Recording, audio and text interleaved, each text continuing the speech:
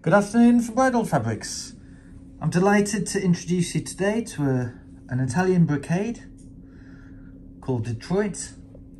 It's a blend of silk and polyester, a rich ivory in colour, a beautiful lustre to it with this divine floral design which wends its way across the width of this ivory fabric. So Detroit is available from stock and without minimum quantity. Please don't hesitate to contact us if you have any questions at all.